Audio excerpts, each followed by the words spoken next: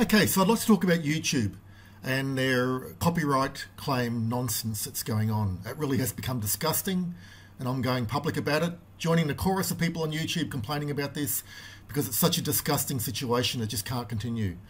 So I like I like making videos, and some of the videos I like making are those that explore science fiction shows like Space 1999 and Star Trek, and I've got a whole lot of other videos that I'm uh, planning and preparing as well.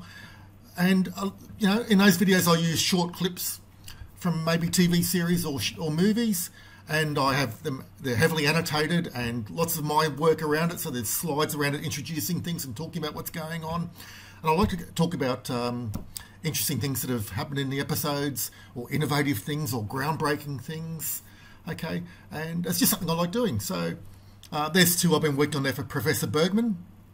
Okay, for his speech in Space 1999 uh, where, he, where he takes a step back from war.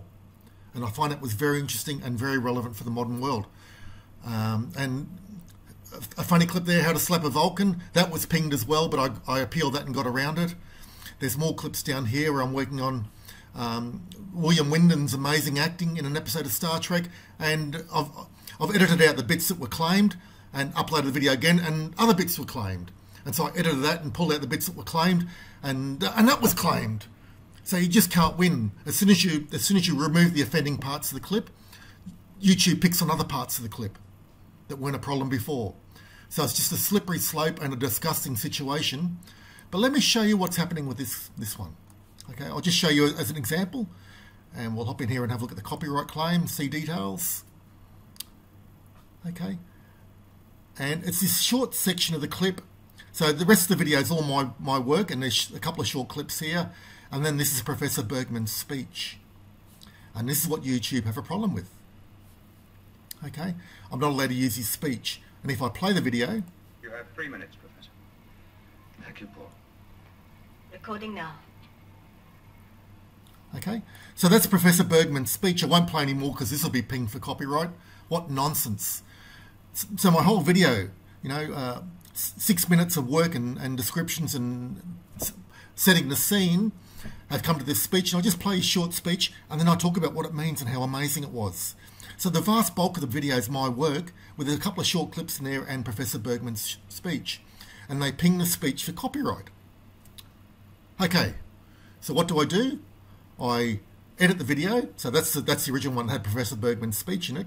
So I edit the video and I um, voice narrate the scene. Okay, so I read the speech using my own voice. So. You have three minutes, Professor. Thank you, Paul. Recording now.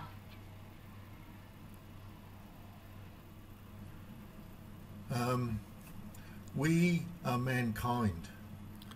We came from planet Earth. Okay, so that's my voice you hear. And YouTube have pinged this for copyright. So they, they, they're saying I can't even use my own voice. what? This is just ridiculous. This has got way, way, way out of hand. If you're making a documentary and you're using short clips and you, and you are encouraging um, people to buy the DVDs and support the copyright owners and creators, and if you are doing stuff that's transformative uh, for, for commentary or review or critique or comparison or education or documentary or parody or comedy or any of the other allowed fair uses. And if you only use short clips, a small fraction of the overall work, and you support the original creators, in other words, you encourage people to buy the DVDs or whatever, then that's the very definition of fair use. And, and my videos, certainly this video and this video, and my other videos down here which have been pinged, oops, let me just scroll down, where I, just, where I talk about William Windom's amazing acting, all got copyright claims.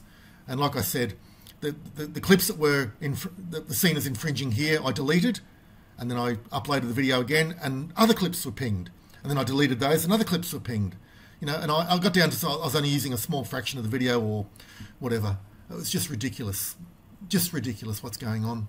Um, you know, so a, a, a, video that might take, you know, a couple of hours of work, a couple of hours of research and work and, and editing, You then upload it, then you've got to fight through hours and hours and hours of this copyright nonsense, and then wait 30 days for them to give you your their, their answer as to whether you succeed or not. And lots of my other clips down here, the, the, these two here were pinged for copyright as well. There's none there now because I've appealed on one. Um, these clips down here, the, this clip here was a, uh, pinged for copyright and I appealed on one. But you can't go on fighting forever. This YouTube copyright nonsense where fair use videos and content is being pinged for copyright infringement, this has to stop. This has to stop. I hope some lawyer takes on YouTube and, uh, and, and, and, and beats them in court and they get a massive fine for enforcing this draconian garbage policy. Okay. Yes, if people upload stuff that's copyrighted, delete their channel, ping them. But if people upload short clips, which is very clearly fair use, and it's documentary, commentary, review, comparison, education, or whatever, that's very clearly fair use.